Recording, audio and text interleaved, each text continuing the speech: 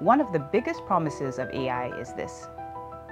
How can we save time, reduce costs, and still deliver at a higher level?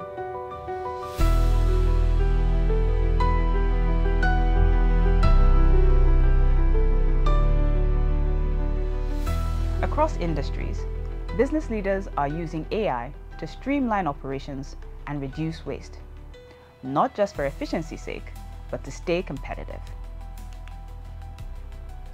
From automated invoice processing in finance to AI-powered demand forecasting in supply chains, companies are freeing up resources and improving decision-making in real time. In fact, according to McKinsey, businesses that have adopted AI at scale report up to a 20% reduction in costs and a 20 to 30% increase in efficiency across core business functions.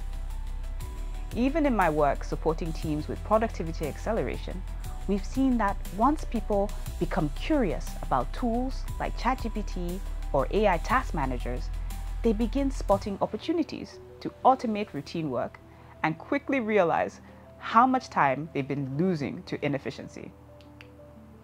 It's not about adopting every new tool. It's about finding small, strategic wins that free up energy for bigger goals.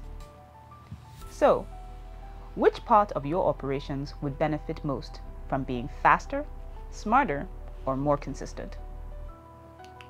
Pick one area. Test one AI-enabled solution. Track the impact. Then build from there.